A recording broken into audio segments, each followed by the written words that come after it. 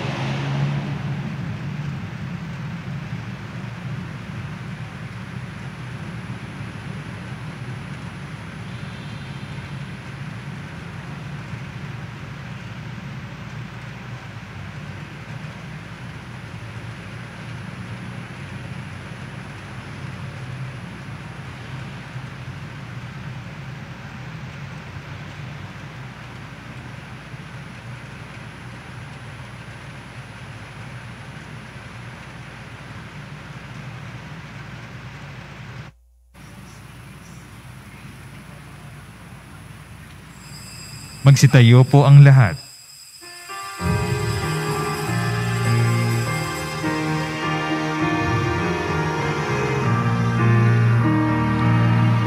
Magalak tayong lahat, si Yesu Kristo'y nabuhay, nanaig sa kamatayan.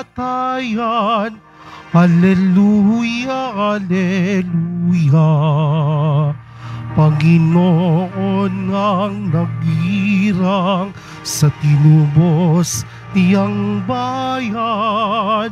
Nagpupuring mga hinirang Masayang nagdiriwang Magalak tayong lahat Si Jesu Kristo'y nabuhay Nanaig sa kamatayan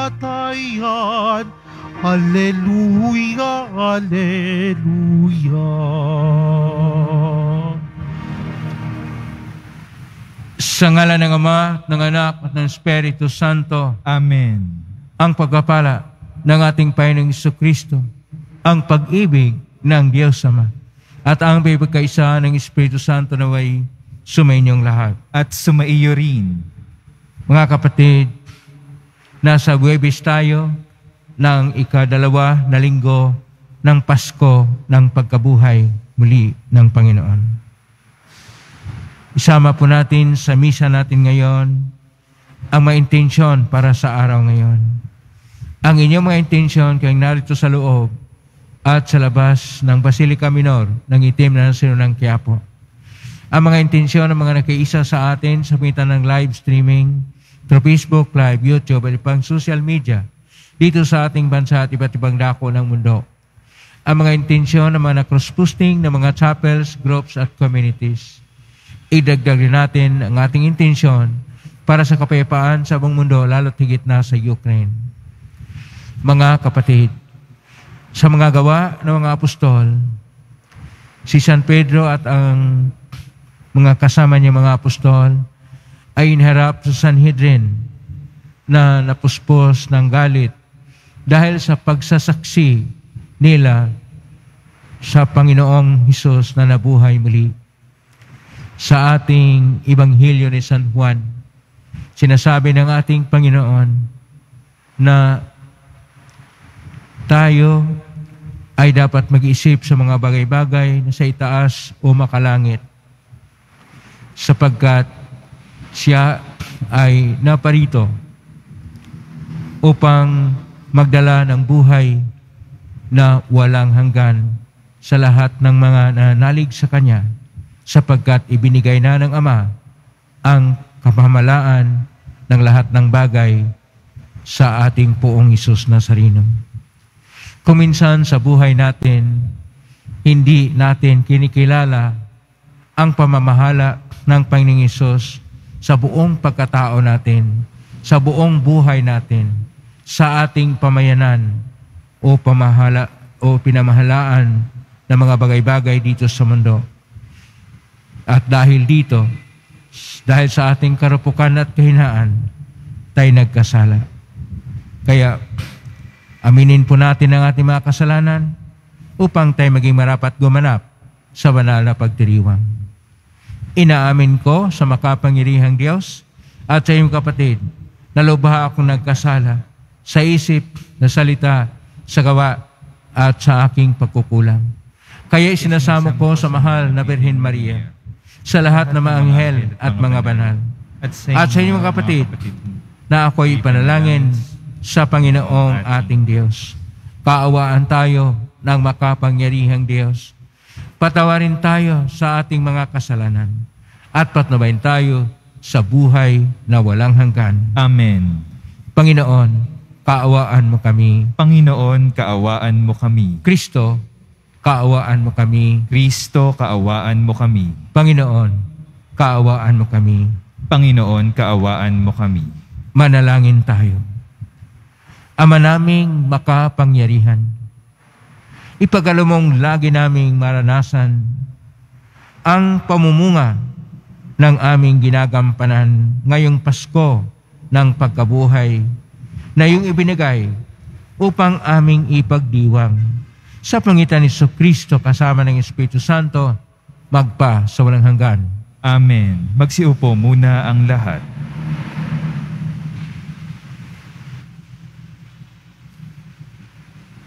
Pagbasa mula sa magawa ng mga apostol. Noong mga araw na iyon, ang mga apostol ay siniyasat ng pinakapunong saserdote. Maigpit namin pinagbabawal sa inyo ang pangangaral sa pangalan ng Jesus na iyan, wika niya. Ngunit tingnan ninyo ang inyong ginawa. Laganap na sa Jerusalem ang inyong aral, at ibig pa ninyo kaming panagutin sa pagkamatay ng taong iyan. Ngunit sumagot si Pedro at ang ibang mga apostol, ang Diyos ang dapat naming sundin, hindi ang tao.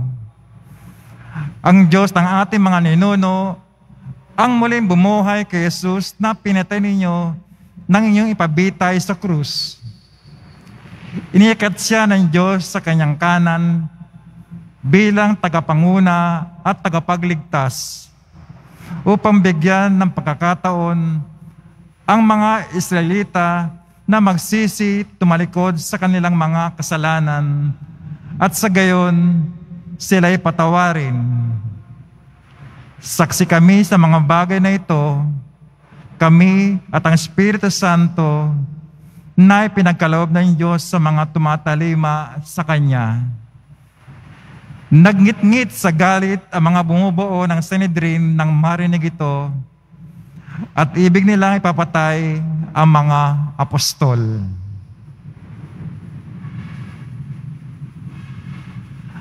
Ang salita ng Diyos. Salamat sa Diyos. Dukhang sa Diyos tumatawag ay kanyang nililigtas. Dukhang sa Diyos tumatawag ay kanyang inililigtas. Panginooy aking laging pupurihin sa pasasalamat, di ako titigil. Ang galing ng poon, hanaping masikap, yaw nagtiwala sa kanya't naligtas, may tuturing na taong mapalad. Dukhang sa Diyos tumatawag ay kanyang inililigtas. Nililipol niya yaong masasama hanggang sa mapawi sa isip ng madla. Agad dinirinig daing ng matuwid, nililigtas sila sa mga panganib. Dukhang sa Diyos tumatawag ay kanyang inililigtas. Tumutulong siya sa nasisiphayo. Ang walang pag-asa'y hindi binibigo. Ang taong matuwid, masuliranin man, sa tulong ng poon, agad maiibsan. Dukhang sa Diyos tumatawag ay kanyang inililigtas. Magsitayo po ang lahat. Ah,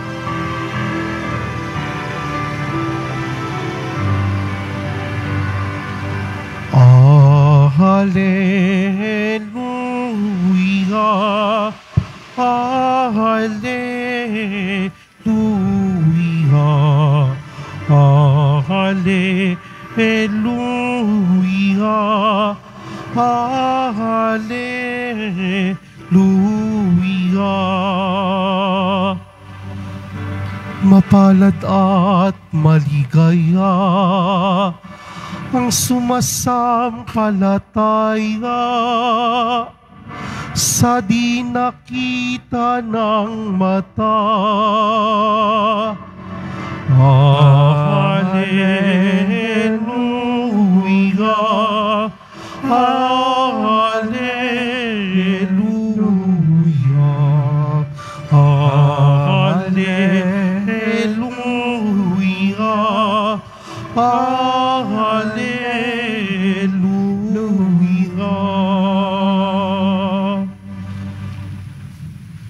Sumainyo ang Panginoon. At sumaiyo rin.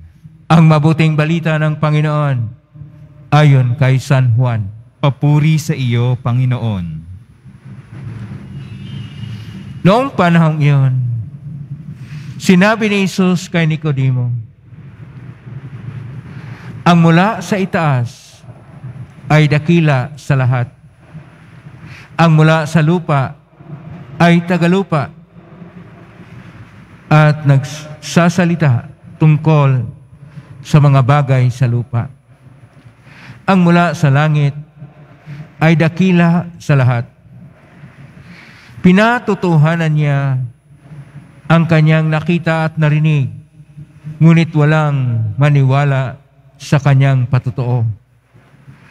Ang naniniwala sa kanyang patutuo ay nagpapatunay na tapat ang Diyos. Sapagkat ang sinugo ng Diyos ay nagpahayag ng mga salita ng Diyos at walang sukat ang kanyang pagkakaloob ng Espiritu Santo. Minamahal ng Ama ang anak at ibinigay sa Kanya ang kapamahalaan ng lahat ng bagay. Ang nanalig sa anak ay may buhay na walang hanggan. Ngunit ang hindi tumatalima sa anak, hindi magkakaroon ng buhay. Manatili sa Kanya ang puot ng Diyos. Ang mabuting balita ng Panginoon. Pinupuri ka namin, Panginoong Heso Kristo. Magsiupo muna tayong lahat. Isang magpagpalang araw po sa inyong lahat. Purihin po natin ang ating pong Isus Nazareno na nabuhay muli. Nasa Webis tayo ng ikadalawa na linggo ng Pasko ng pagkabuhay ng poong Isus Nazareno. At ang atin pong mga pagbasa ay patungkol sa iskatolohiya. Iskatolohiya mula sa dalawang salitang Griego, iskaton at logos. Iskaton, ibig sabihin, mga huling mga panahon. Logos, salita o kaalaman. Pagbuuhin itong iskat, iskaton at saka logos, naging iskatolohiya. Ang iskatolohiya na patungkol sa mga huli na panahon ay nagsasabi sa atin ayon pa sa pagtuturo ng ating simbahan sa, kati- sa, katikismo at sa doktrina natin na ang iskatolohiya ay patungkol sa pagkabuhay pagkatapos ng kamatayan. Na ayon pa sa ating credo o dasal sa panam- sumasampalataya, tayo'y sumasampalataya na mayroong pagkabuhay muli at buhay na walang hanggan. Ito yung tungkol sa iskatolohiya. At dito sa ating mga pagbasa, napahayag ang tungkol sa iskatolohiya.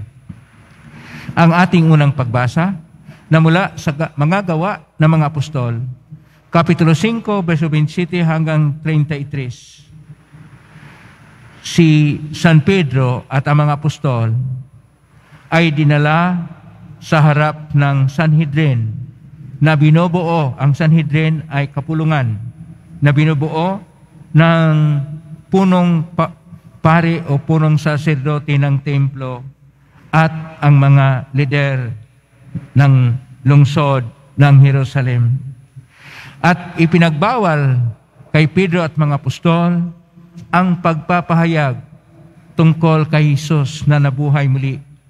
Ngunit pinapahayag nila sapagkat sabi ni San Pedro, sundin nila ang Diyos, hindi ang tao.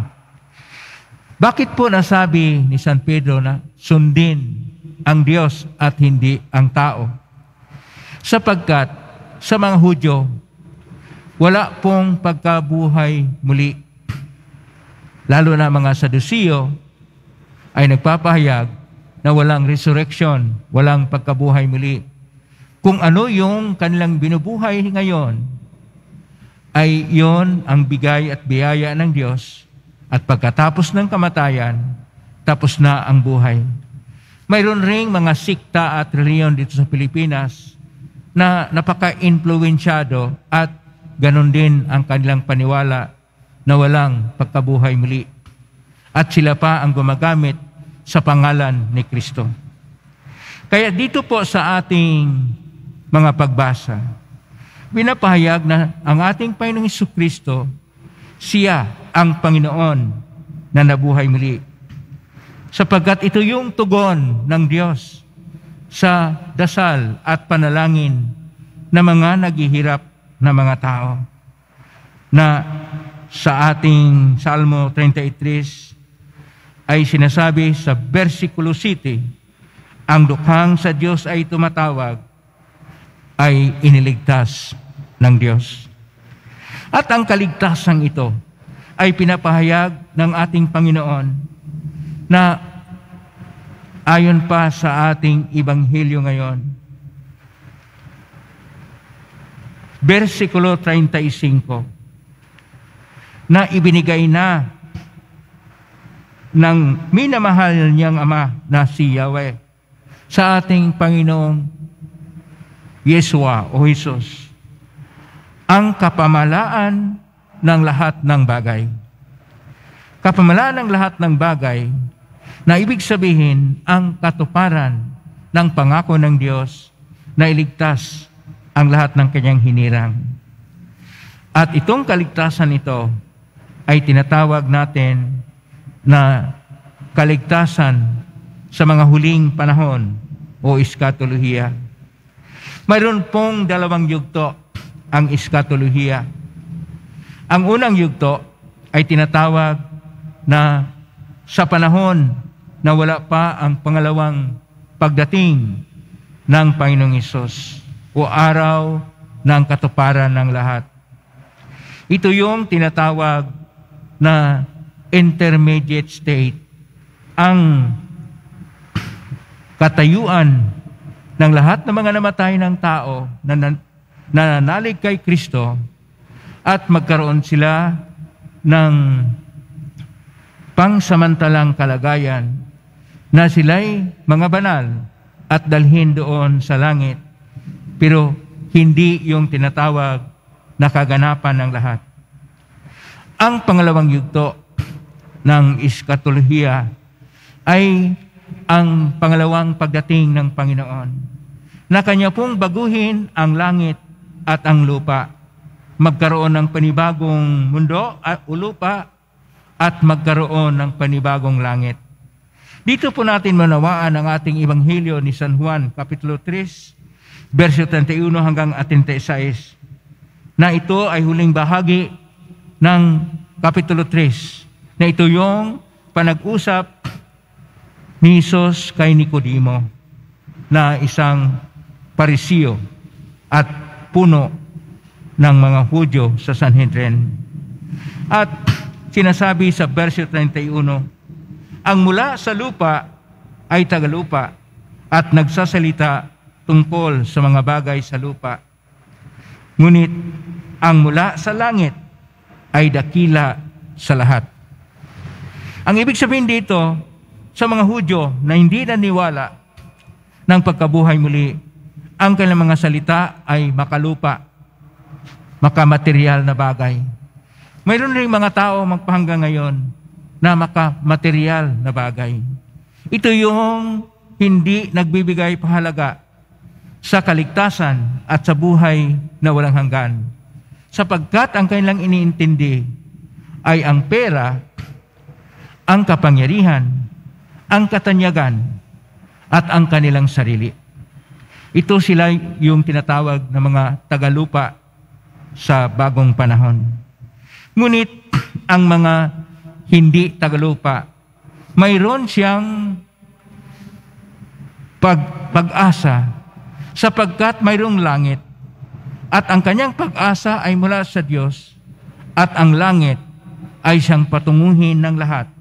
Na pagkatapos ng kamatayan, ang tao ay dinala nga sa intermediate state. At sa pangalawa na pagdating ng Panginoon, second coming of Christ, magkaroon una ng physical resurrection na kung saan ang lahat ng mga namatay ay iugnay uli ang kanilang kaluluwa sa isang panibagong katawan na tinatawag na katawan na puspos ng pagbabago at tunay na pinuspos ng biyaya ng Diyos. Na ito yung tinatawag na glorified body na kung saan mayroong tunay na pagbabago. At ang pisikal na pagbabago sa mundo na kung saan ang mundo ay hindi na mundo ng karasan, mundo o lupa na ang saysay ay ang mga material na bagay, ang panibagong mundo ay isang paglikha na ang lahat ay magiging banal at may kabanalan ang lahat. At Diyos ang siya maging sentro at ang pag-ibig ang siyang ugnayan sa bawat isa. At ang panibagong mundo ay ang pagtanggap ng ating Pong Isus Nazareno na siya yung pinaka-Panginoon. At siya yung ating tunay na Mesiyas na nagliligtas. Mesiyas, mula sa salitang Hebrew, Masa, pinad- pinapadala, na Christos, ito naman ang salin sa Grigo, na ibig sabihin, nalagyan ng langis sapagkat siya ang hinirang ng Diyos na magbigay sa atin ng buhay na ganap at ikasya siya. Kaya sinasabi sa versikulo 36, Kapitulo 3, Ebanghelyo ni San Juan, na nasabi niya, Who pistion is stone, poyon, ikay, suwan, ayon yun. Ang ibig sabihin dito, ang lahat ng nananalig ko yun, ng, ng anak, at sino yung anak, kung Isus Nazareno, ay magkaroon ng zoen, iyon yun. Zoen, buhay. Iyon yun, walang hanggan. Ito yung tunay na eskatolohiya na kung saan lahat tayo ay magkaroon buhay naganap at ikasya siya buhay na eternal sapagkat binago ng lahat ng Panginoong Isos. Ang ating mundo ay bago na. Ang kamamalaan sa mundo ay hindi na sa mga taong sakim na nanglulustay ng kayamanan ng bayan at nagpapahirap ng tao at kinikitil ang buhay ng tao. Ang mamumuno ay si Kristo na sa buong mundo na pahalagahan na ang buhay. Ang umiiral ay ang pagmahalan siya't isa. At ang ugnayan sa siya't isa ay nasintro sa Diyos na siyang saysay. At siya ang kahulugan ng bawat buhay. Sapagkat siya ang Diyos na may dakilang pag-ibig na pinadala ang kanyang bugtong na anak ating pong Isus na sarino na nabuhay muli upang tayo ay magkaroon din ng pakikiisa sa panibagong buhay sa kanyang pangalan.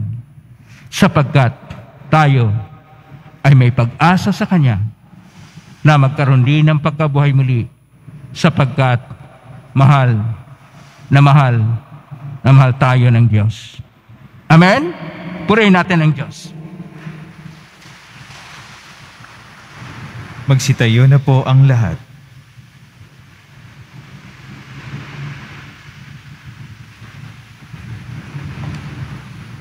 Minamahal ko mga kapatid, tayong mga tumatanggap ng buhay ni Jesus ay tinatawag mamuhay ng lubos ayon sa kanyang mga aral. Atin pong itutugon, Panginoon, ibuhos mo ang iyong espiritu. Panginoon, ibuhos mo ang iyong espiritu. ang simbahan sa pamamagitan ng mga pinuno nito. Naway buong tapang na humarap sa hamon ng patuloy na pagbabago. Manalangin tayo. Panginoon, ibuhos mo ang iyong espiritu. Ang pamahalaan, naway manindigan sa kanyang pagsisikap na makapagbigay ng mataas na uri ng paglilingkod sa mga mamamayan. Manalangin tayo. Panginoon, ibuhos mo ang iyong espiritu. Sa mga nangangailangan, naway hindi natin isara ang ating mga puso at pagsikapan nating makibahagi sa misyon ni Kristo ng pagpapagaling at pagkakasundo. Manalangin tayo. Panginoon, ibuhos mo ang iyong espiritu. Ang mga taong nagdurusa sa sakit na walang lunas, naway palakasin ang kanilang pananampalataya. Manalangin tayo. Panginoon, ibuhos mo ang iyong espiritu. ang mga yumaong, naway mapatawad sa kanilang mga kasalanan sa pamamagitan ng nakapagpapagaling na biyaya ng Diyos. Manalangin tayo. Panginoon, ibuhos mo ang iyong espiritu. Sa tahimik idulog natin sa Panginoon ang ating mga sariling kahilingan.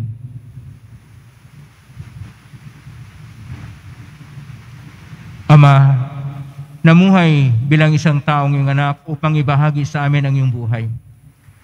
Ipagkalob mo na maging matatag kami sa aming panampalataya sa Kanya upang makapamuhay kami ng may pananagutan bilang iyong mga anak. Narinig namin ito sa pangitan ni Kristo na aming Panginoon. Amen.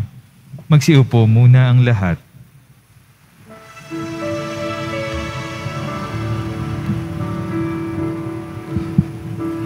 Aming atid, alay na ito ang tinapay na nagmula sa pagpapala mo at tanggapin ang alak na ito inuming inihain sa'yo.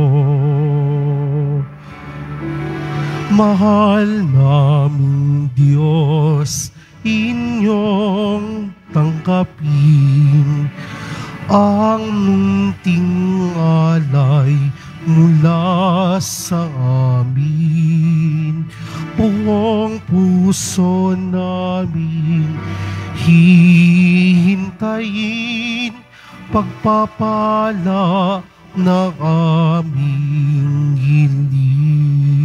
Magsitayo na po ang lahat. Manalangin kapatid upang paghahay natin ay kalugdan ng Diyos amang makapangyarihan. Tanggapin nawa ng Panginoon itong paghahain sa iyong mga kamay sa kapurihan niya at karangalan sa ating kapakinabangan at sa buong sambayanan niyang banal. Ama naming lumikha, paakyatin mo sa iyong piling sa kalangitan. Ang aming mga panalangin kalakip ng haing mga alay upang ang mga pinagindapat mong gawing dalisay ay maging marapat na makasalo sa piging ng iyong pagmamahal. Sa pamagitan ni Kristo kasama ng Espiritu Santo, magpa sa walang hanggan. Amen. Sumainyo ang Panginoon. At sumaiyo rin. Itaas sa Diyos ang inyong puso at diwa. Itinaas na namin sa Panginoon. Pasalamatan natin ang Panginoong ating Diyos. Marapat na siya ay pasalamatan. Ama naming makapangyarihan. Tunay ang marapat ni kay aming pasalamatan. Ngayong ipinagdiriwang ang paghahain ng Mesiyas, ang maawong tupa na tumubos sa aming lahat sa paghahain ng sing buhay at sa pagkabuhay ng anak mong mahal. Nabuksang ganap ang iyong tahanan at kaming pinagharian mo'y maging kasambahay. Sa pagkamatay niya sa krus na lupig ang kamatayan, sa kanyang pagkabuhay, naging buhay siya ng tanan. Kaya kaisa namang si si awit na nagpupuri sa iyo ng walang humpay sa kalangitan, kami nagbuni siyang kadakilaan. Santo, Santo, Santo, Panginoong Diyos ng mga hukbo, napupuno ang langit at lupa ng kadakilaan mo, o sana sa kaitaasan, pinagpala ang naparirito sa ngalan ng Panginoon, o sana sa kaitaasan, magsiluhod po ang lahat. Ama naming banal, ikaw ang bukal ng tanang kabanalan, kasmitan ng Espiritu ng banal, ang makalob na ito pang para sa amin, maging katawan at dugo ng aming Panginoong Kristo. Bago niya pinagtiisang kusang loob na maging handog, hinawakan niya ang tinapay, pinasalamatan kanya, pinaghati-hati niya yon, iniabot sa kanyang malagad at sinabi, Tanggapin ninyong lahat ito at kanin. Ito ang aking katawan na ihahandog para sa inyo.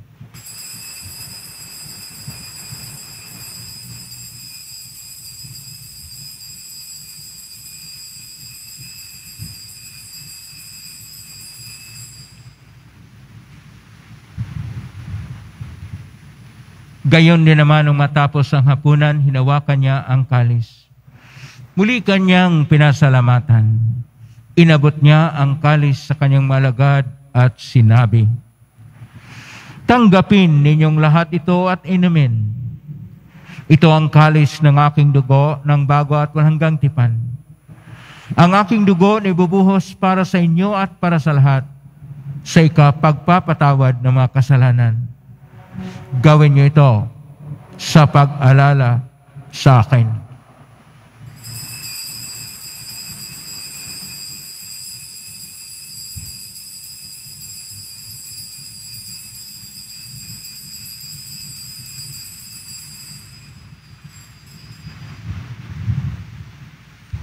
Ang misteryo ng pananampalataya. Si Kristo ay Siya'y namatay, si si Kristo ay Kristo'y nabuhay, si Kristo ay si Kristo'y babalik sa wakas ng panahon. Ama, ginagawa namin yan ang paglala sa pagkamatay at muling pagkabuhay ng anak Kahit inaalay namin sa iyo ang tinapay nagbibigay buhay at ang kalis na nagkakaloob ng kaligtasan. Kami nagpapasalamat dahil kami narapat na tumayo sa harap mo para maglingkod sa iyo. Isinasama namin kami magsasalo-salo sa katawan at dugo ni Kristo ay mabuklod sa pagkaisa sa pamagitan ng Espiritu Santo. Ang malingapin simbahang laganap sa buong daigdig. Pususin mo kami sa pag-ibig kaisa ni Francisco na aming Papa at ni Jose na aming Obispo at ng Tanang Kaparian. Alalahanin mo rin mga kapatid naming nahimlay may pag-asang sila'y muling mabuhay ganyan ng lahat ng mga pumanaw. Paawaan mo sila at patuloyin sa iyong kaliwanagan. Kawan winapatin kaming lahat na makasalo siyang buhay na walang wakas. Kaisa na Birhen Maria na ina ng Diyos ng kabiyak ng puso niyang San Jose. Kaisa na mga apostol ni San Juan Bautista, ni San Roque, ni San Lorenzo Ruiz de Manila, ni San Pedro Calungsod, at ng lahat ng mga banal na namuhay dito sa daigdig ng kalugod-lugod sa iyo. May pagdiwang nawa namin ang pagpupuri sa karangal mo sa pamagitan ng anak na aming Panginoong Heso Kristo. Sa pamamagitan ni Kristo, kasama niya at sa Kanya, ang lahat ng parangal at papuri ay sa iyo, Diyos amang makapangyarihan, kasama ng Espiritu Santo magpasawalang hanggan. Amen. Amen. Amen. Amen. Sa tagubilin na galing na utos, sa turo ni Jesus na pay natin at Diyos, ipahayag natin ng lakas loob. Ama namin, sumasalangit ka, sambahin ang ngalan mo, mapasa amin ang kaharian mo, sundin ang loob mo dito sa lupa para nang sa langit. Bigyan mo kami ngayon ng aming kakanin sa araw-araw, at patawarin mo kami sa aming mga sala, para nang pagpapatawad namin sa nagkakasala sa amin, at huwag mo kaming ipahintulot sa tukso, at iadya mo kami sa lahat ng masama. Niling namin kami adya sa lahat ng masama, pagkalooban ng kapayapaan araw-araw, iligtas sa kasalanan tila sa lahat ng kapahamakan samantalang aming pinanabikan ang dakilang araw ng pagpapahayag ng tagapagligtas naming si Iso Kristo. sapagkat iyo ang kaharian at ang kapangyarihan at ang kapurihan magpakailanman. Amen. Panginoong Iso Kristo, sinabi mo sa mga apostol, kapayapaan ang iniiwan ko sa inyo, ang aking kapayapaan ibinibigay ko sa inyo. Tunghayin ang aming panampalataya at huwag ang aming pagkakasala. Pagkalooban mo kami ng kapayapaan at pagkakaisa ayon sa iyong kalooban, kasama ng Espiritu Santo, magpa sa walang hanggan. Amen. Ang kapayapaan ng Panginoon ay laging sumainyo. at sumaiyo rin. Magbigayin kayo ng kapayapaan sa isa't isa. Kapayapaan. Kordero ng Diyos na nag-aalis ng mga kasalanan ng sanlibutan, maawa ka sa amin. Kordero ng Diyos na nag-aalis ng mga kasalanan ng sanlibutan, maawa ka sa amin. Kordero ng Diyos na nag-aalis ng mga kasalanan ng sanlibutan, ipagkaloob mo sa amin ang kapayapaan, magsiluhod po ang lahat. Ito ang kordero ng Diyos. Ito ang nag-aalis na makasalanan ng sanlibutan. Mapalad ang mga inanyayahan sa piging ng kordero. Panginoon, hindi ako karapat-dapat na magpatuloy sa iyo, ngunit sa isang salita mo lamang ay gagaling na ako. Katawan ni Kristo. Amen.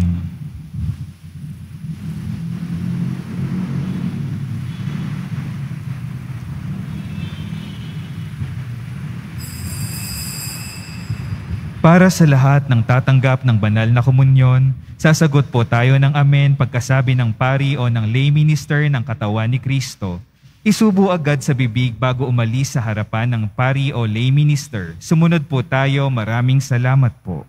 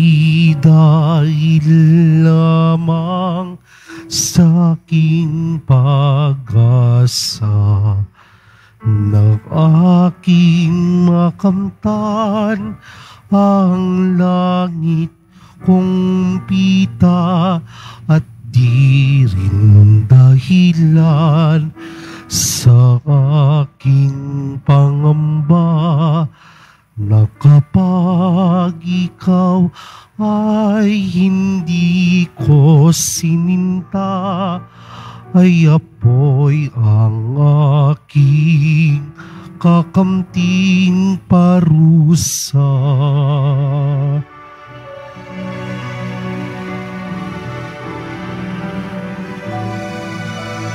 O Jesus, narito ang dahilang tunay ng aking pag-ibig na lubang dalisay. Dahil sa sala ko, buhay mo ay inalay sa krus ng mahaptit. Tustang pagkamatay, tiniis mo'y pako sibat at paghalay pawis, kirot sakit na walang kapantay.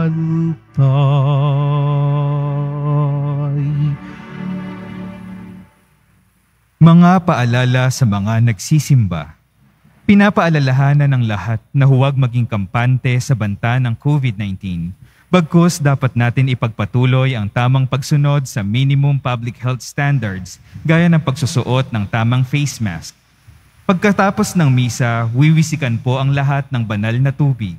Pinakikiusapan ng lahat na manatili lamang muna sa inyong mga lugar. Tanging sa Quezon Boulevard o sa Plaza San Juan lamang ang labasan ng lahat.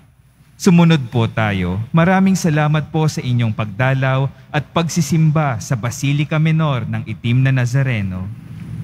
Magsitayo na po tayo. Manalangin tayo.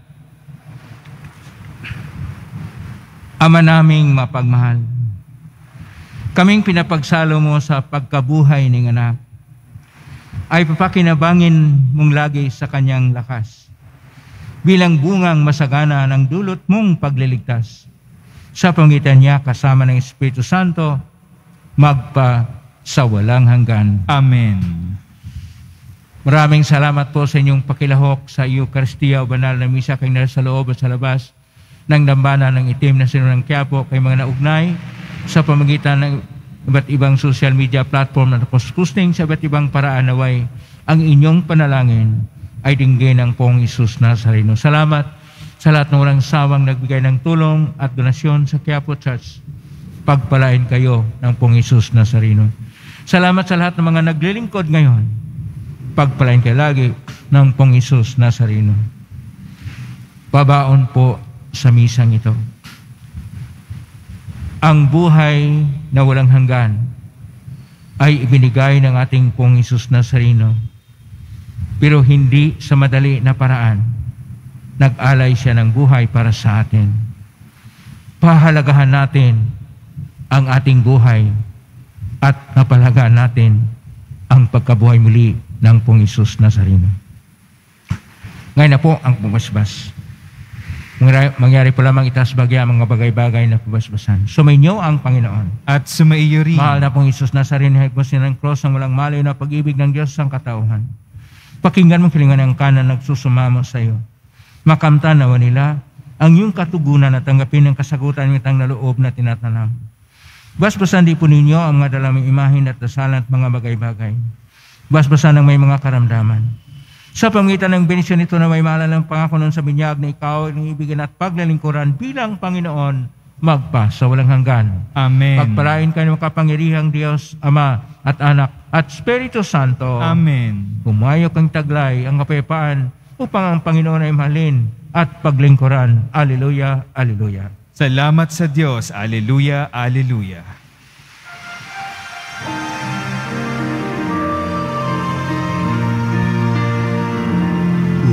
Nuestro Padre Jesus Nazareno, sinasamba ka namin. Pinipintuho ka namin. Aral mo ang aming buhay at kaligtasan. Nuestro Padre Jesus Nazareno,